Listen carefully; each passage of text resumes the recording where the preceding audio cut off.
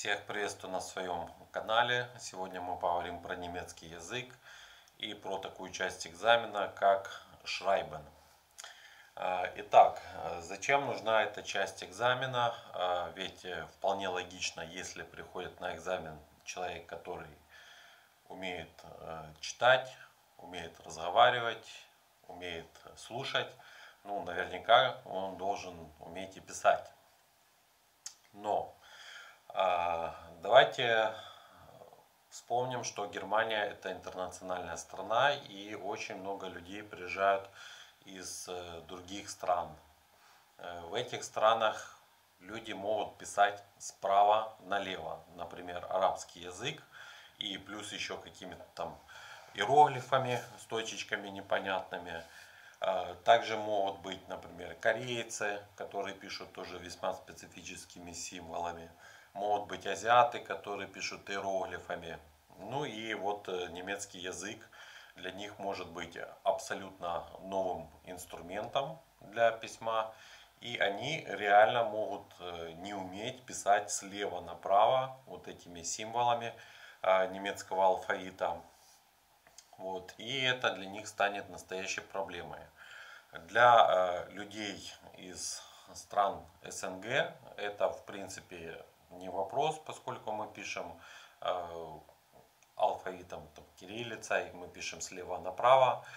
Э, тем более большинство людей знакомо с английским языком. Э, как вы знаете, немецкий и английский это англосаксонская группа. У них очень похожий алфавит, поэтому вот с этой позиции для всех наших Э, людей, которые будут сдавать экзамен, это не будет э, проблемой.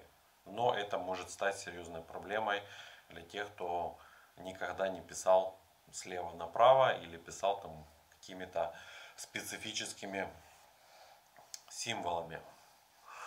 Э, также может быть такая ситуация, человек прожил в Германии, например, несколько лет, или не в Германии, но находился в немецком как бы, обществе, и на слух он научился разговаривать. Для примера возьмем немецкая семья, рождается ребенок, в 4-5 лет этот ребенок становится фактически носителем языка, это уровень там B1, B2 без проблем, но при этом ребенок совершенно не умеет писать и в 6 лет, в 7 лет он идет в школу, где преподаватели рассказывают как пользоваться карандашом, ручкой, учат э, опять же тот же алфавит, грамматику и э, малыш учится писать.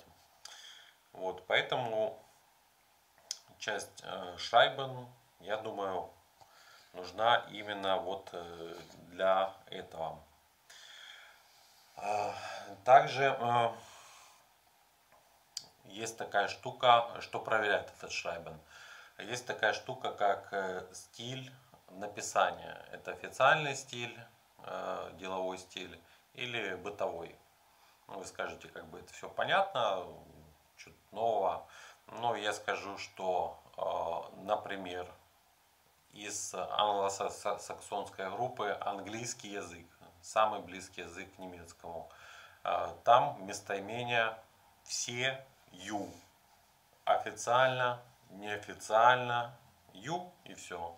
И как бы пишешь письмо, пишешь этот ю. А теперь представьте, приезжает э, человек, который знает э, мутершпах э, только английский язык, ему дают множество местоимений, дают китайские палочки говорят, а, пожалуйста, вот по стилю разложи эти местоимения сюда, уважительные, а это вот бытовые, их нужно вот сюда. Это тоже вопрос для человека, и он может, э, ну, скажем так, не знать, как правильно это сделать. Дальше э, Шрайбен проверяет э, умение и знание шаблона, как в принципе составляются письма. Первое это идет приветствие, где вы там добрый день, официально или неофициально – Второе – это описание проблемы. Э, третье – это варианты решения проблемы. И э, четвертое это до свидания. А, здесь все тоже как бы понятно, э, но хочу обратить внимание, что немцы вот на интеграционных курсах учат людей не только писать, но и грамматически верно составлять письма. Многие люди, опять же, там страны СНГ, а, они никогда в жизни не работали с документами, да, там писали какие-то смс в телефоне, но официальные письма, может быть, иногда там раз в пятилетку какой такой как и составлял. А, нужно отдать должное. Германия здесь объясняет, как это правильно сделать. А, приведу пример. Например, мы пишем э, письмо в Job Center, и мы хотим сделать это правильно, чтобы человек, получивший письмо, э, не думал, а что же это такое и вообще зачем мне его прислали. Э, первое, вы приветствуете официально. Второе, объясняете причину вашего обращения. Вы пишете, в прошлом месяце вы присылали мне такой-то документ. Я его потерял, но он мне очень нужен, чтобы зарегистрироваться в каком-нибудь там социальном магазине в Тафеле. Третье. Вы предлагаете решение проблемы. Пожалуйста, пришлите еще раз этот документ. Я вам буду очень благодарен. И четвертое, с уважением, ну и как вас зовут. А, та же самая информация, но подается в неправильной форме и часто это бывает в реальной жизни. Я работал с документами и знаю, что это вот неправильно составленное письмо, когда его крутишь в руках. Такое себе. Первое, вы делаете приветствие, все по шаблону. Потом, прошу прислать мне письмо на почту. Тут человек, хоп, какое письмо? Зачем? Мы же вроде бы отсылали. Потом вы пишете, в прошлом месяце вы мне его уже присылали. Все, тут вообще ступор. Прошу прислать, но вы мне его уже присылали. И э, у персоны, которая работает, там уже что-то в голове он не понимает, зачем вы написали. Поэтому Германия учит не только Шайбен, но и э, правильно обращаться с информацией. Э, другой пример. Жена мужу пишет записку неофициальный стиль, e-mail, пускай это будет. Э, Неправильно. Купи молоко. Точка. Правильно. Дорогой любимый муж. Это поприветствовали. Второе. Описание проблемы или задачи. Э, как ты знаешь, на выходных приезжает наша мама, и я собираюсь печь пирог. Но в холодильнике закончилось молоко. Описали задачу, описали проблему. Третье. Прошу тебя, предложение решения, э, решения поставленной задачи, прошу тебя сегодня вечером сходить в магазин. И четвертое. Целую твоя, ну и как там зовут жену. Это правильно составленное неофициальное письмо жены по отношению к мужу. Надо купить молоко. Так. А, был а, вопрос в комментариях, какие темы выпадают на Шайбен, а, какие там, как можно приготовиться к этим темам. Мой совет, не нужно готовиться к какой-то прямо конкретной теме, там, там Кохен, там, не знаю, там spazieren gehen, ничего это не надо делать надо больше сконцентрироваться в том, чтобы а, набрать некоторые шаблоны.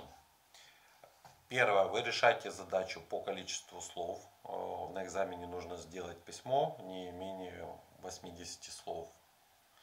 И второе, в э, некоторые шаблонные фразы вы можете вставлять ситуации, которые вам нужно будет описывать.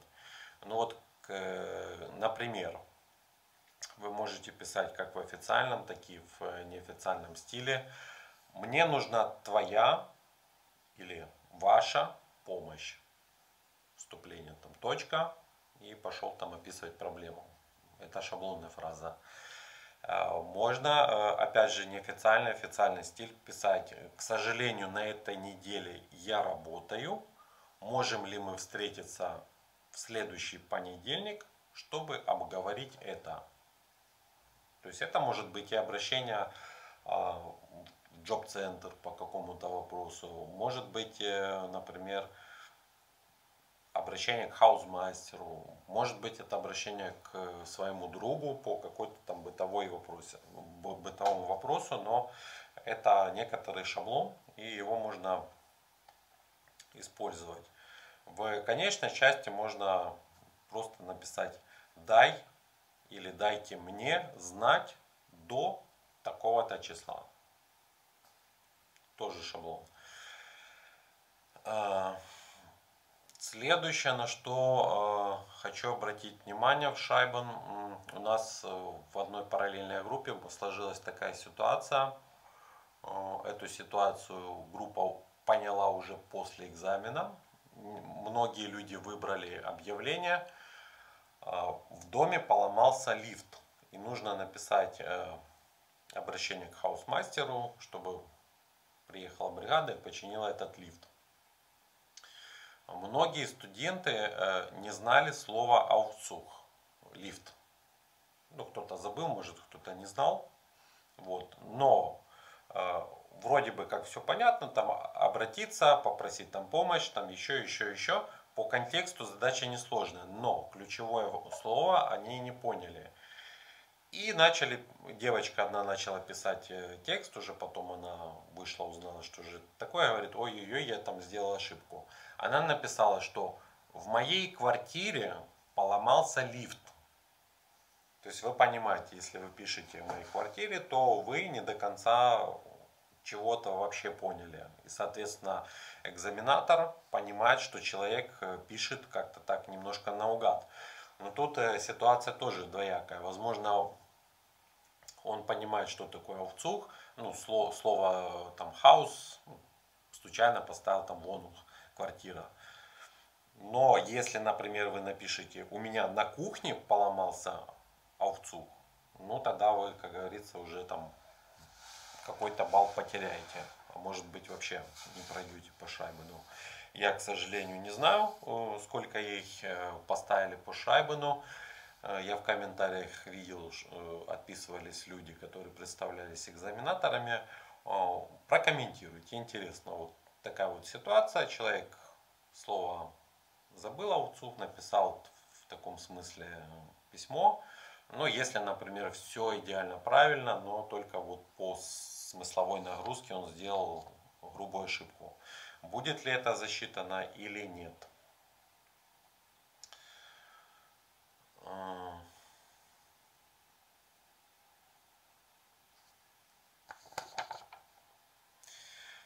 Следующий э, совет или бонус даже, можно сказать так, в задании Шайбен у вас идет общим предложением описание ситуации, а потом ниже будет, э, что вам конкретно надо написать.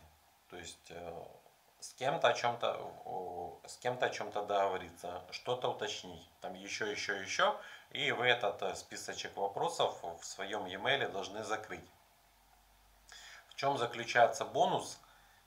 Из вот этих предложений в листике экзаменационном вы можете э, делать из этих вопросов, можете сделать полноценные предложения. Вы их можете переделать, например, утвердительное предложение в вопросительное предложение какой-то персоне. Или наоборот, там вы отвечаете, вы можете попользоваться вот этим словарным запасом. Да, его там немного, но первое, вы будете уверены, что вы правильно слово напишете. И второе, что вы выполните этот пункт.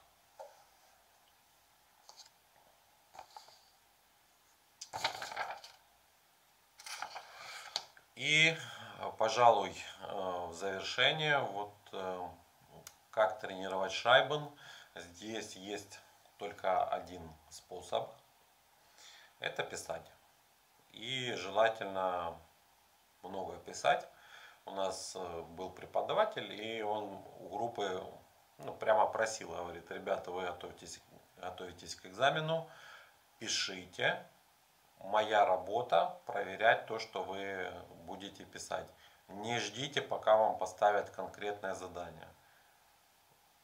Вы о чем-то думаете, тему какую-то сами выбрали, напишите на листике, подойдите к преподавателю на курсах, попросите, проверьте, пожалуйста, там на следующий урок. Мне бы хотелось э, знать, правильно, неправильно я написал.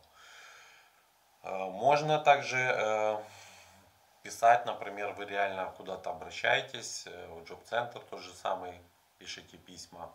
Напишите копию письма, подойдите к преподавателю, вместе посмотрите, правильно ли вы его в принципе составили и написали.